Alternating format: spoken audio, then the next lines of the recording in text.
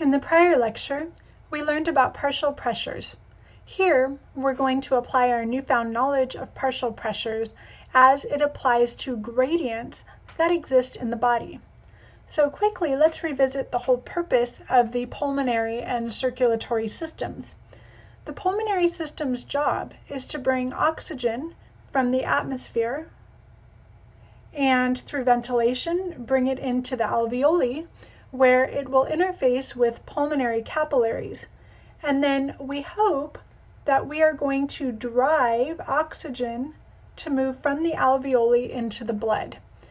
And then the blood will circulate that oxygen around to our cells, where we also hope that oxygen will be compelled to leave our blood and move into our cells. The converse is true for CO2. CO2 is produced as a byproduct of aerobic respiration. So as a waste product, we need to get rid of it. We hope to compel CO2 to move into our blood. And then once it gets back up here to the alveoli, we hope that we can compel CO2 to leave our blood, go into our alveoli so that it can be expired in the next breath. In order for a gas to move between two compartments, like between the alveoli and the pulmonary capillaries, there must exist a partial pressure gradient that favors it. Namely, the partial pressure in the alveoli of oxygen must be greater than the partial pressure in the blood, or the gas will not move. So in order to oxygenate our blood, we need a favorable partial pressure gradient.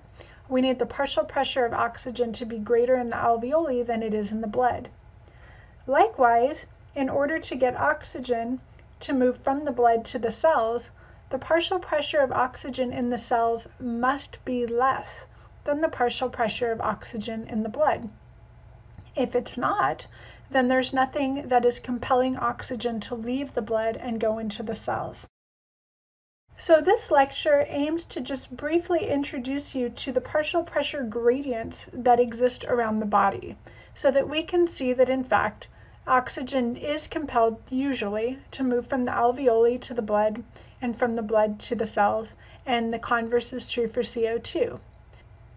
So we're going to be working with this simplified diagram of the circulatory system.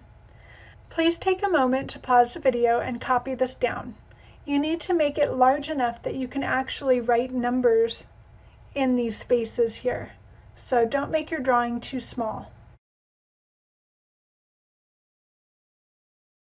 All right, we are going to start by looking at how the partial pressure of oxygen changes as we move between these various environments.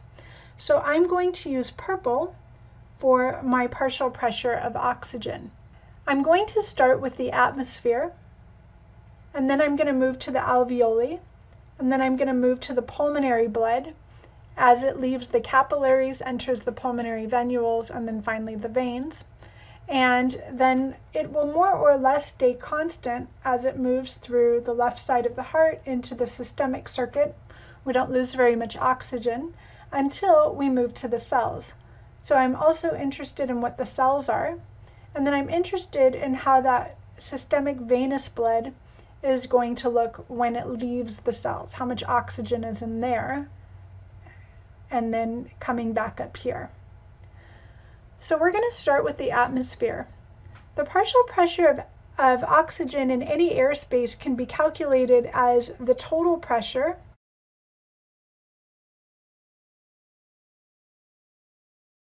multiplied by 21%, which is the percent of oxygen in the atmosphere.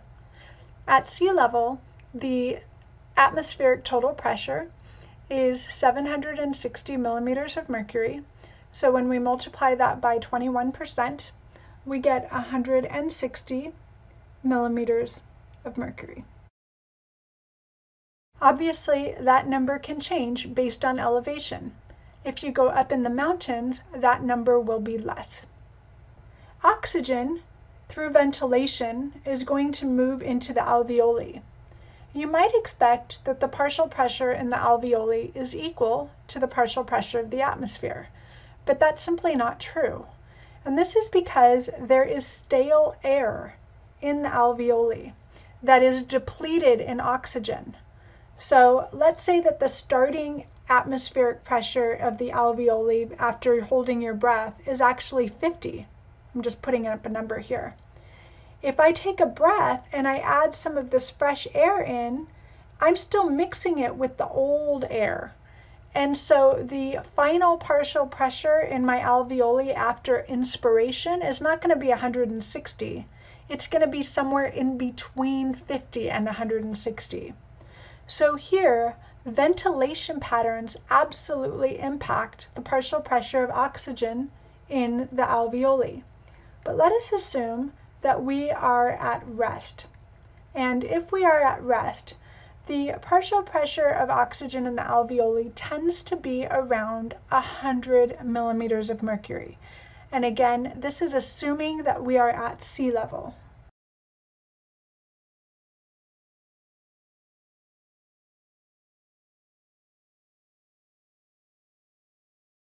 Okay, the partial pressure of oxygen in venous blood coming back up tends to be around 40. And again, we're assuming somebody is at rest here.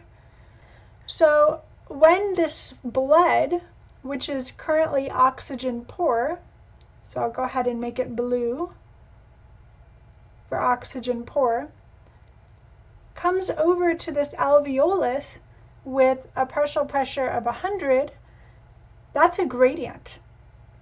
100 is greater than 40. So oxygen is going to be compelled to go into the blood. If oxygen is compelled to go into the blood and it reaches equilibrium, so this is equilibrium from a partial pressure standpoint. Remember, we are moving from air to fluid so it does not reach concentration equilibrium, but it does reach an equilibrium.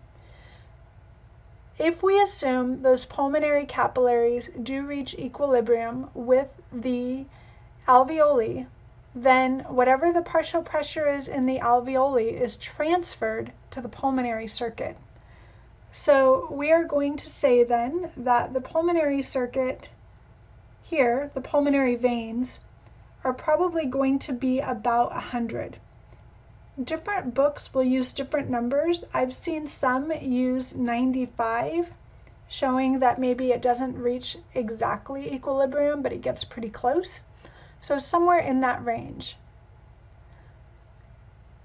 Very little oxygen is going to leave the blood as it moves through the pulmonary veins, the left atrium, the left ventricle, the systemic arteries, systemic arterioles, until it gets to the capillaries. And again, that's largely because the blood is moving quickly and the diameter of the um, vessel walls are too thick to really permit very much diffusion. So we can still assume that down here, the partial pressure of oxygen is probably going to be between 95 and 100.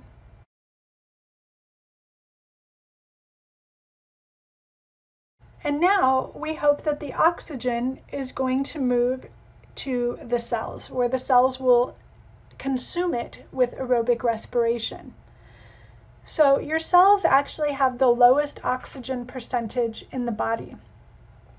And they work around a partial pressure of 40.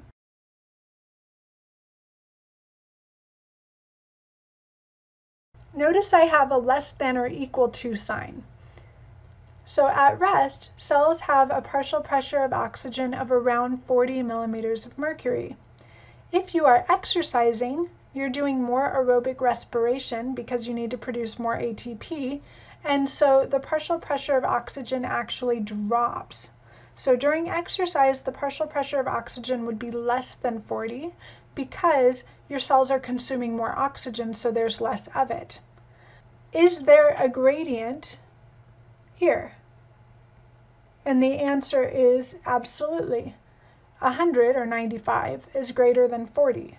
So we do expect that oxygen is going to move from the systemic capillaries into our cells. The blood in the capillaries has the slowest velocity, and this usually allows the blood and the cells to reach equilibrium, such that the partial pressure of oxygen in the venous blood here is going to match whatever was in the cells. So we'll go ahead and say that this systemic venous blood is going to be whatever the cells are. So that's going to be less than or equal to 40. And then again, the partial pressure of oxygen doesn't really change until we get back up into the pulmonary capillaries where it's exposed to the alveoli. So this shows you how the partial pressure of oxygen changes between the environments. So let me ask you a question. Where is the partial pressure the highest? The atmosphere. Where is the partial pressure the lowest? The cells. So hopefully you can see that we actually have a significant drop off. Now, as a very quick little side tangent, as an embryologist, we grow embryos, human embryos, for couples hoping to um, deal with issues of infertility. So we actually take eggs, human eggs, and we um, inseminate them with sperm. And then we have to grow them in special culture medium that is supposed to approximate the environment of the fallopian tubes. So there was a lot of work done on trying to figure out, you know, which chemicals, which nutrients, what the pH is of the fallopian fluid. And one of the things that they realized is that if you just try to grow these embryos at in ambient air, the oxygen concentration is 21%. But and that's a partial pressure of like 160 millimeters of mercury. But the oxygen concentration in our cells and in our fluid right down here is not. In other words, if we expose these growing embryos to atmospheric oxygen, the partial pressure that they were exposed to of oxygen was 160, and that was far too much. They needed a partial pressure of about 40. So one of the things we have to do when we grow up embryos is we actually have to modify the gas exposure and we can't let them be exposed to ambient air for too long because the oxygen concentration is too high. They do best at an oxygen concentration between 5 and 6%, which is much closer to a partial pressure of 40. Okay, so now let's briefly take a look at CO2. So I've started with a blank slate here, and I'm going to use green for CO2.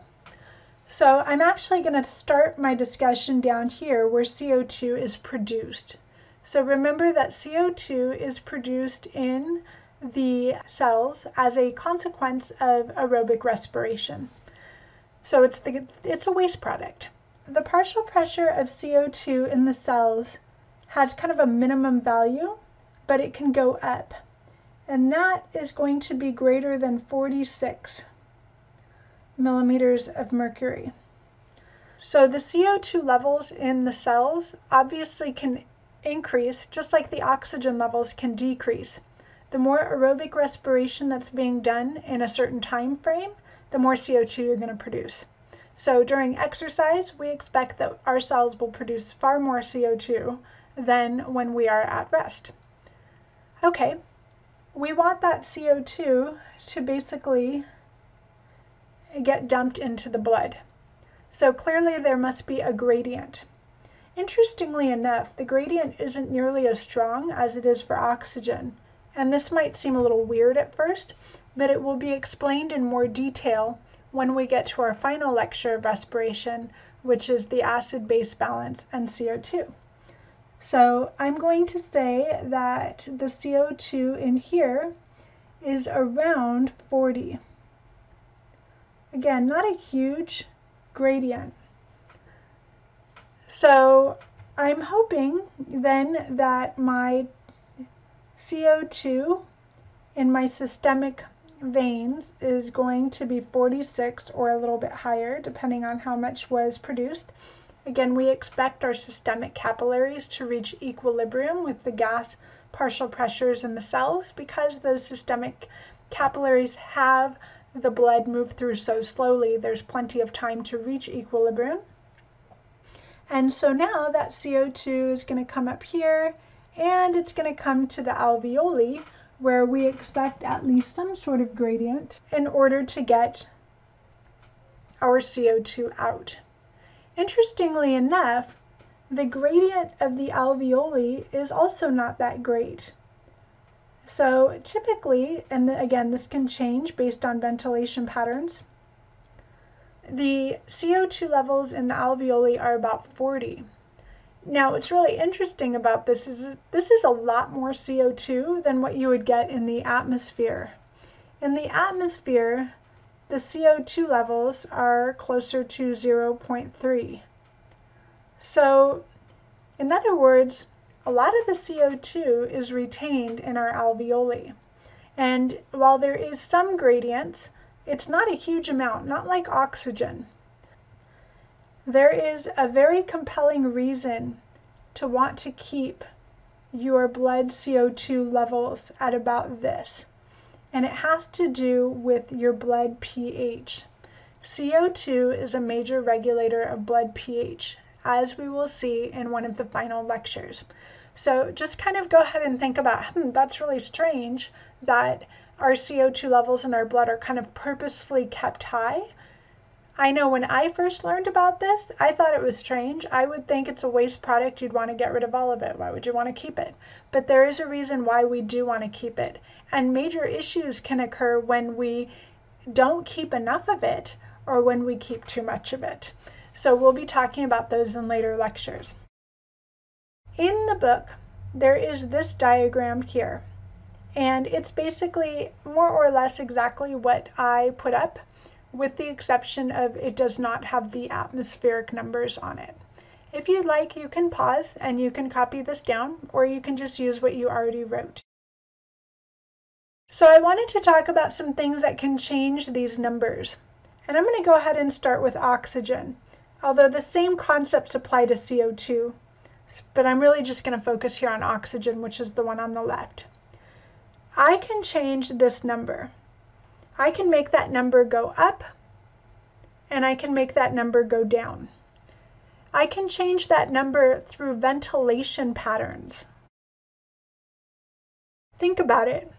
If you start breathing really deeply and really hard or often, so you have a higher ventilation rate, you're bringing in a lot more fresh oxygen.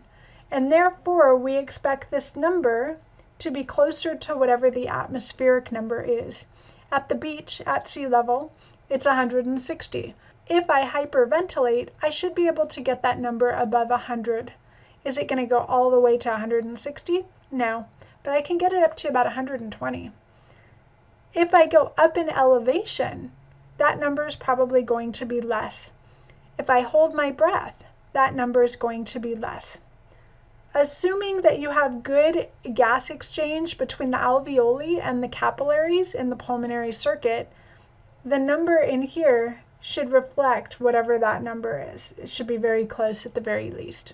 Obviously, if you have some sort of disorder or disease that impairs the ability of oxygen to move from the alveoli into the circulatory system, like pneumonia, then that number will be less. Likewise, this number can also change. So this number can change because that is a reflection of your aerobic respiration in your cells. If you do more aerobic respiration, we expect this number to go down. And likewise, we expect whatever this number is to reflect whatever that number is. I mentioned that ventilation patterns can absolutely change the partial pressure of oxygen and likewise the CO2 levels. And so here is an image that graphs how the ventilation patterns do affect those numbers. This is normal. This is your kind of normal, I'm not thinking about it, I'm just sitting here. This is what my normal ventilation rate is, moving 4.2 liters of air per minute. And this tells you what the partial pressure is in the alveoli. So not the atmosphere, but in the alveoli.